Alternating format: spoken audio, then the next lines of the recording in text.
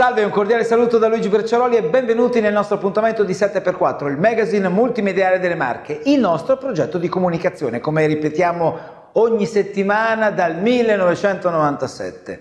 Non ho più nemmeno contato le puntate. Ogni settimana siamo qua, vi raccontiamo, mettendoli insieme, i fatti nazionali con quelli internazionali, con quelli locali, insomma con uh, un clic, quello del telecomando, avete la possibilità di poter seguirci e di conoscere bene le tematiche. Allora, entriamo subito nel vivo della puntata di questa settimana, credo che si andrà avanti ancora per parecchio per quanto riguarda il discorso sulla manovra finanziaria. Qualcuno dice l'Italia sta prendendo tempo perché poi ci sarebbe un'abile mossa di contabilità suggerita poi dalla Ragioneria dello Stato in cui traslando di qualche mese poi si spostano 2, 3, 4 miliardi e tutto questo farebbe digerire meglio all'Unione eh, Europea la nostra manovra finanziaria. Una manovra finanziaria che molti eh, condannano, colpiscono in maniera dura e pesante perché non ci sarebbero le necessarie risorse per gli investimenti, io però vorrei rifarmi anche all'articolo 3 della Costituzione italiana dove nel secondo comma si cita la necessità di mettere tutti sul piano politico e sociale, soprattutto sociale ed economico,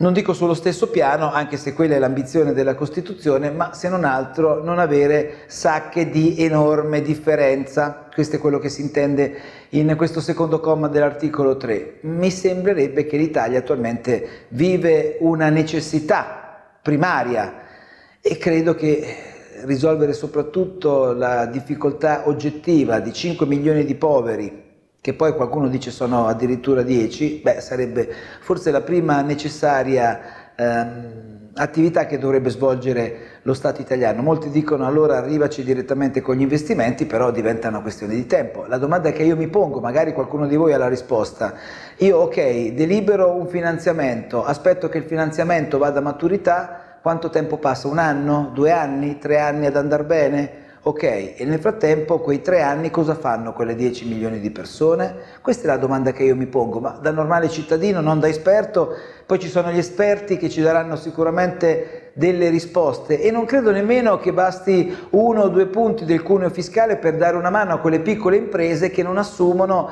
perché poi non hanno la capacità di poter prendersi in toto il peso di un dipendente uno o due punti gli fanno ben poco, credo che ci dovrebbe essere una manovra un pochino più consistente in questa direzione. Comunque, detto questo, ma è una considerazione del piccolo povero cittadino che non ne capisce nulla di economia, entriamo nel vivo della puntata di questa settimana partendo subito con il primo servizio. Sono passati ormai due anni dalla scossa del terremoto del 24 agosto e due anni anche da quella di ottobre. Stiamo un pochino facendo eh, il dato consuntivo di quello che è stato fatto in questi 24 mesi. Addirittura c'è stato il eh, commissario Tajani che è venuto a trovare i territori terremotati. Il commento non lo faccio io, lo lasciamo fare a lui.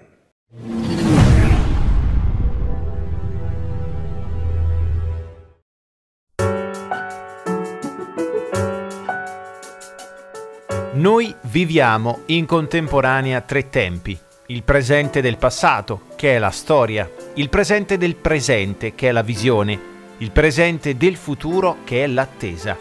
Come Universitas abbiamo il grande compito di alimentare questa vostra attesa. Passato, presente e futuro, con quest'ultimo che è il profumo dell'Europa. Sono questi gli scenari evocati dal rettore dell'Università di Camerino Claudio Pettinari durante la cerimonia di inaugurazione del 683 anno accademico il suo intervento chiuso con una sublime citazione di Sant'Agostino. All'inaugurazione ha preso parte il presidente del Parlamento europeo, Antonio Tajani. Non a caso il tema scelto per la cerimonia è stato Universitas Europa, un titolo che simbolicamente riassume il legame inscindibile tra i luoghi di cultura e di sapere, le universitas e la mission che li contraddistingue, in Italia e nel mondo con il respiro e la caratterizzazione europei che essi devono avere ed assumere sempre di più, ha detto Pettinari. L'Unione Europea vicina alle istituzioni e ai giovani è questo il messaggio che porta il presidente Tajani nei territori feriti dal sisma. Bisogna certamente migliorare eh, il rapporto con i cittadini, abbiamo eh, rifinanziato Erasmus che è uno strumento per far conoscere meglio l'Europa e permettere ai giovani di studiare in diverse università, abbiamo anche eh, finanziato Erasmus per giovani imprenditori che è un'opportunità eh, che diamo ai giovani di poter eh, avviare attività imprenditoriali, questo è il problema dei problemi, la formazione e la capacità poi di poter esprimere le, le proprie capacità. Questa è, un, è un'altra risposta che abbiamo dato, abbiamo investito nel prossimo bilancio comunitario eh, circa 120 miliardi di euro nel, nel settennio 2021-2027 per innovazione e ricerca. Questo è un segnale di fiducia verso, anche verso le università. L'apertura anno accademico a Camerino sono tre anni che ha delle belle presenze perché abbiamo avuto il Presidente del Consiglio, il Presidente della Repubblica, adesso il Presidente del Parlamento europeo. Eh, dal punto di vista simbolico il segno di una grande presenza delle istituzioni che sono consapevoli che qui si riesce a raccontare in maniera forte quello che è, stato, quello che è successo nelle Marche. E la riscossa dell'Università di Camerino, suo modo di reagire alle difficoltà, aver mantenuto gli studenti, essere stati in grado di garantire le lezioni, di non perdersi mai d'animo pur nelle difficoltà è un fatto molto forte. E la presenza, la vicinanza di queste istituzioni non può che aiutarci, darci fiducia per il lavoro che tutti i giorni facciamo insieme all'università, insieme ai sindaci, insieme al territorio con l'obiettivo di vedere questo queste opportunità, questa terra veramente rinascere. Questo l'auspicio di Ceriscioli, ma la realtà della ricostruzione è decisamente più triste. Non solo le polemiche per i disagi delle casette marce, ma anche un panorama bloccato dalla burocrazia. Purtroppo non è cambiato nulla dalla mia che risale a più di un anno fa. Eh, questo è un motivo di, proprio grande tristezza. Continuerò a spingere perché la burocrazia faccia il suo dovere. È un problema soprattutto di lentezza burocratica di carte che passano da un ufficio ad un altro. Non è giusto e non è rispettoso nei confronti eh, di cittadini italiani che hanno subito una ferita così profonda. È facile venire qua il giorno dopo il terremoto e poi non spegnere i riflettori. I riflettori devono continuare a essere accesi finché non si risolvono i problemi.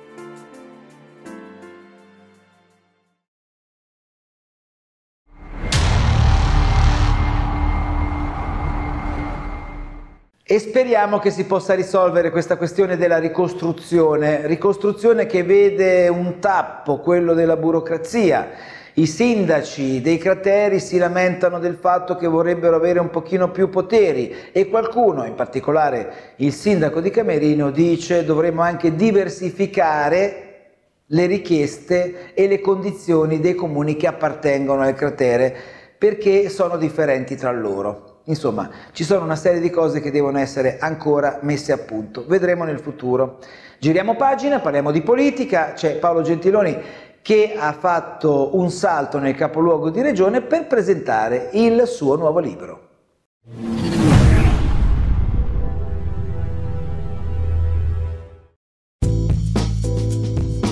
È in giro per l'Italia da qualche settimana e giovedì 29 novembre è arrivato nelle Marche con il suo libro dal titolo La sfida impopulista.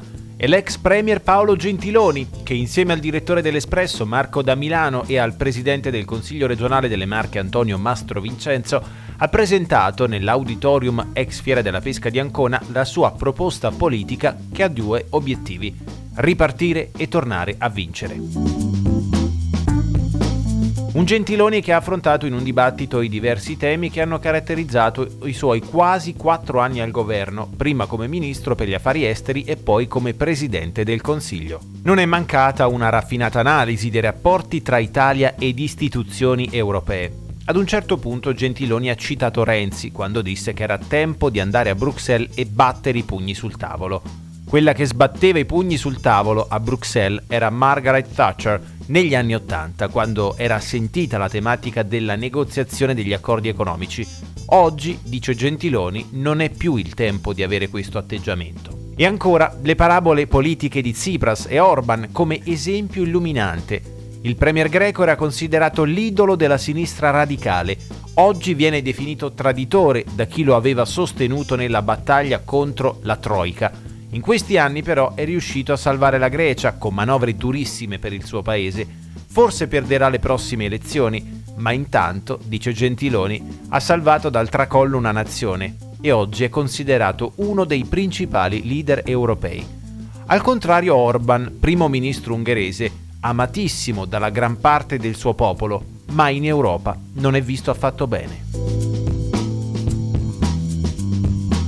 Gentiloni si è soffermato ancora sulla Grecia portando come esempio i governi che hanno preceduto Tsipras, quelli che hanno falsificato i numeri dei conti dello Stato, portandolo sull'orlo del baratro. La lezione di questi anni, e questo è il monito di Gentiloni, è che giocare con i numeri, vedi i numeri della crescita economica in Italia nell'attuale governo giallo-verde, alla lunga porta solo al disastro.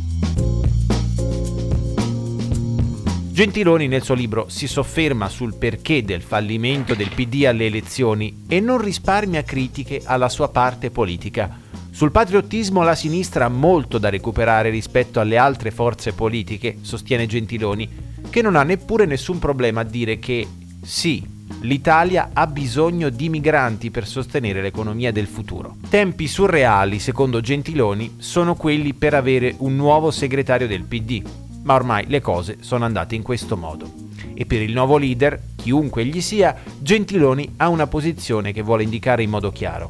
Teniamoci stretto questo partito e guardiamo senza timore alle alleanze, perché il ruolo del PD, secondo Gentiloni, è quello di catalizzatore per le forze e i movimenti di opposizione a questo governo e a quella che l'onorevole definisce l'ideologia nazional populista. Beh, la sfida in populista vuol dire innanzitutto rendersi conto di come la minaccia di questa onda nazionalista e populista che non riguarda solo l'Italia eh, va presa sul serio, perché purtroppo non produce solo danni e conseguenze economiche, ma anche mette in discussione alcuni principi delle nostre democrazie liberali, si comincia a discutere di di libertà di espressione, di diritti delle minoranze, di rapporti con gli stranieri, di nazionalismi tra stati. Quindi primo rendersi conto dei pericoli e non sottovalutarli.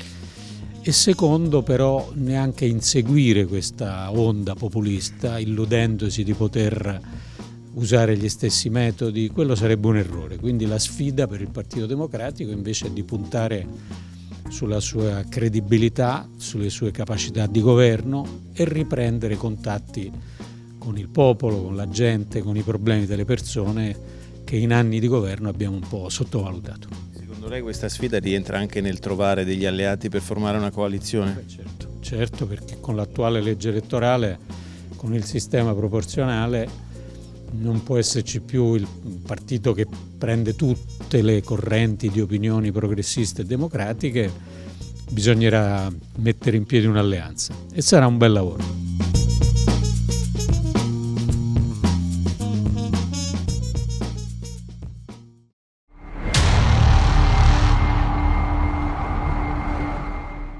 Domenica ci sono le primarie del Partito Democratico, eh, vedremo come il Partito Democratico saprà essere impopulista. Lo seguiremo con attenzione. Andiamo avanti, parliamo a questo punto della giornata contro la violenza verso le donne. C'è stata un'interessante manifestazione a Senigallia, l'abbiamo seguita con molto interesse.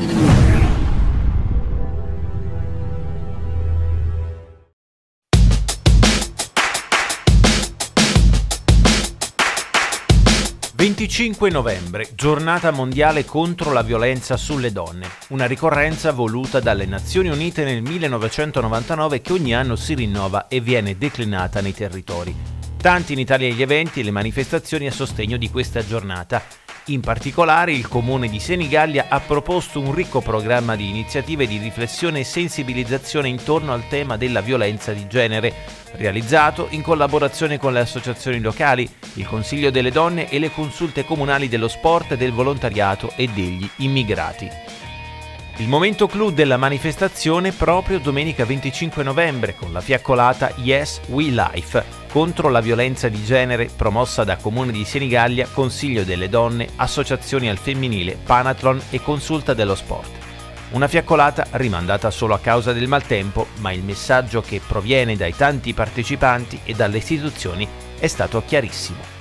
La città di Senigallia aderisce ai 16 giorni arancioni eh, indetti dall'ONU, quindi 16 giorni importanti, il culmine dei quali è il 25 novembre, la giornata di oggi, giornata dedicata all'eliminazione della violenza di genere. Eh, oggi eh, simbolicamente, perché il tempo non ce lo permette, doveva essere una fiaccolata che toccava tutte le piazze del centro storico, ma ci appostiamo qui al Foro Anonario, nei locali della pescheria, eh, per dire no alla violenza. Partecipano con noi il Panathlon Marche, la consulta dello sport, la consulta degli immigrati, le associazioni femminili del territorio e tutto il tessuto cittadino. Quindi eh, la città di Senigallia tutta dice no alla violenza. È stato quello di oggi pomeriggio un evento che mm, ha visto la collaborazione di tutte queste associazioni e che, metterà, che ha messo insieme un grande slogan, insieme si può vincere. È questo il messaggio che vogliamo lanciare, rompere il silenzio e riuscire in ogni modo a dar modo a, a ogni donna di dire che la sua vita è più importante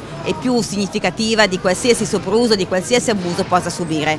Per cui tutti insieme possiamo dire Yes, we life. Il fenomeno della violenza contro le donne è un fenomeno molto complesso e purtroppo con il tempo eh, i dati non accennano a diminuire.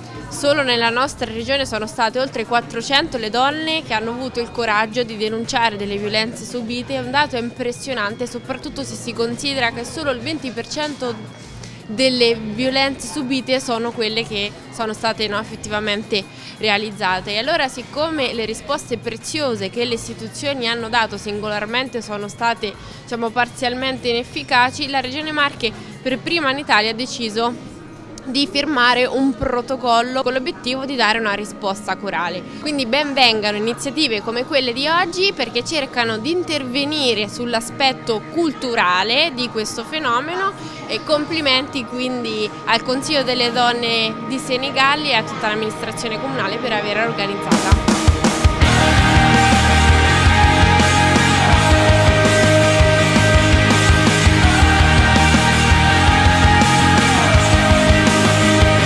Letture, balli, musica e testimonianze di diverse parti di società civile che hanno contribuito a rendere la manifestazione ricca e sentita. Sono stata felicissima di essere stata invitata al 25 novembre a Senigallia in questo importante evento dove si può parlare di questo fatto sulla violenza delle donne, di come non debba mai accadere in nessun giorno della nostra vita, non solo il 25 novembre. Il 25 dovrebbe essere solo un giorno e un simbolo, un significato e noi dovremmo replicarlo in ogni giorno della nostra vita. Secondo me attraverso lo sport, perché io sono giovane e vivo in questo ambiente, eh, i messaggi li possiamo mandare più facilmente perché siamo giovani e abbiamo anche abbastanza visibilità e quindi vorrei dire no alla violenza contro le donne. Il Panatron Club di Senigallia è stato coinvolto dal Consiglio delle Donne, facente parte del direttivo per quanto concerne lo sport nella città. Lo sport è un mezzo efficacissimo nella violenza contro qualsiasi tipo di genere, soprattutto nella violenza contro le donne. Il Panatron Club di Ancona, il Panatron International in generale, è un club di valori e in quanto club service di valori non può che aberrare ogni forma di violenza, figuriamoci quella nei confronti delle donne. Quindi una partecipazione da parte del nostro club molto facile, molto semplice, molto spontanea, di cuore e credo che a Senigallia veramente questo momento sia stato celebrato nella maniera migliore perché è stato molto coinvolgente al di là del fatto che la giornata non è stata delle migliori ma è stata fatta diventare una bella giornata proprio dalla partecipazione emotiva di chi non ha voluto mancare. Siamo alla conclusione di questa bellissima iniziativa che è stata portata avanti eh, dal Panathlon anche di Senigallia con tutte le sue iscritte, eh, la mia vicepresidente e direi che è stata una manifestazione estremamente incisiva a favore della lotta per la violenza contro le donne, ma diciamo in generale non solo loro, ma anche la lotta in generale alla violenza che viene perpetrata nel mondo eh, contro i più deboli purtroppo. Quindi questo deve essere un forte messaggio che viene dal mondo civile e dallo sport in particolare, che noi rappresentiamo. Quindi direi che abbiamo fatto un buon lavoro e speriamo che quello che è stato fatto abbia un, un uh, seguito nel mondo civile. Speriamo che veramente questo appello venga accolto.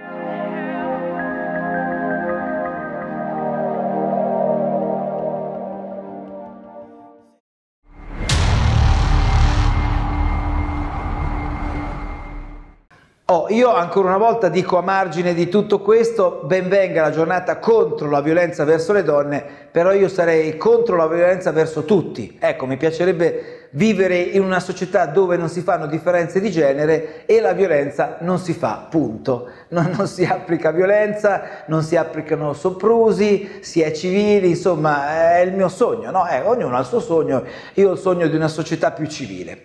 Chiusa la parentesi, parliamo di cinema e parliamo di Corto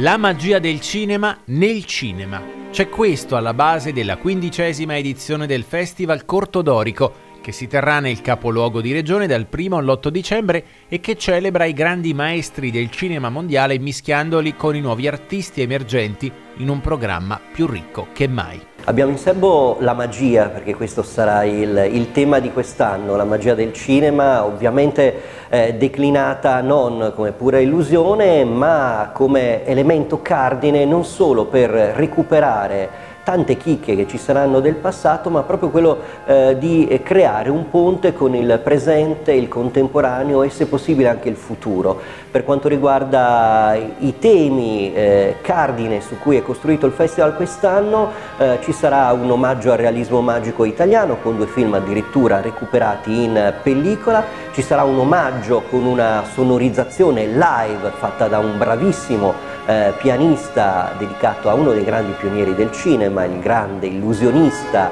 eh, Georges Méliès, ci sarà un omaggio a quello che è da tutti considerato il mago del cinema, Orson Welles, con tre film che saranno riproposti in sala e con una riattualizzazione, riedizione assolutamente concepita e realizzata per il Festival eh, Cortodorico della Guerra dei Mondi firmata da Vincenzo Latronico che è il traduttore. Eh, altre novità, Need is Short che è un concorso di corti internazionali con eh, corti che vedrete per la prima volta in Italia, sottotitolati in italiano per l'occasione eh, da noi e sono corti che hanno, eh, sono stati selezionati e hanno vinto festival come eh, Venezia, Cannes e Locarno. Tra le novità più interessanti di questa edizione interamente ospitata dalla Mole Vanvitelliana c'è senz'altro il Casablanca Café. Una sorta di spazio all'interno della Mole dove si svolgerà tutto il festival perché questa forse è la più grande delle eh, novità all'interno di tutta una serie di spazi, non sarà solo l'auditorium, Casablanca Café dove avremo la possibilità proprio di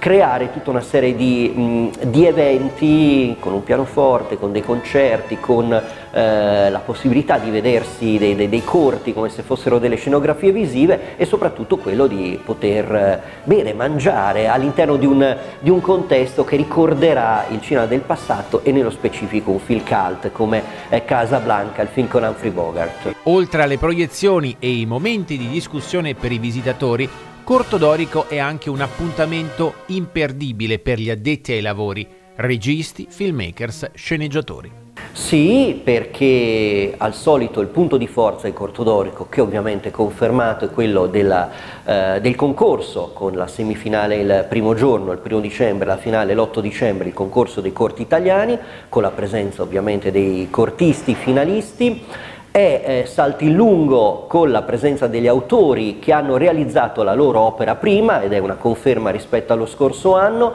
con eh, due eventi, un film d'apertura e un film di chiusura. A proposito del film di chiusura che sarà Sulla mia pelle, il film dedicato alla figura eh, di eh, Stefano Cucchi, avremo anche gran parte degli ospiti, per quest'anno c'è una giuria qualificatissima e di cui andiamo molto molto fieri, avremo Jasmine Trinca in giuria, che era appunto Ilaria Cucchi, Matteo Cocco che è il direttore della fotografia eh, di quel film e avremo a cappeggiare questo, questo, duo Matteo Rovere che è regista di un film amatissimo come Veloce come il vento di Stefano Accorsi, nonché produttore di Smetto quando voglio. Masterclass e workshop, masterclass di fotografia con Matteo Cocco l'8 dicembre, apriamo il primo dicembre con un workshop eh, con Giacomo Ciarapico che è uno degli autori di Boris eh, che lavorerà proprio con chi si iscriverà sul fare una, una, sceneggiatura, su come costruire una, una sceneggiatura e sicuramente sarà un appuntamento molto molto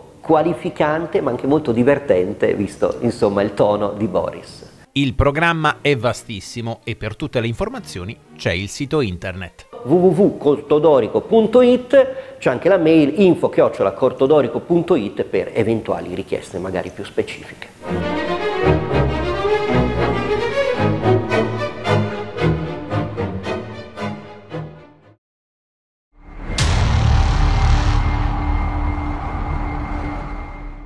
Ottima iniziativa quella di Cortodorico e speriamo prima o poi di far sposare la produzione cinematografica locale anche al nostro canale, il 210 del digitale terrestre. È un sogno che ho, un altro sogno.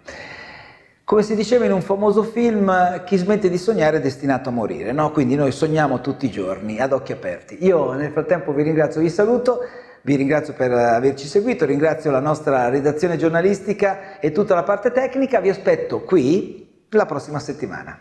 Ciao!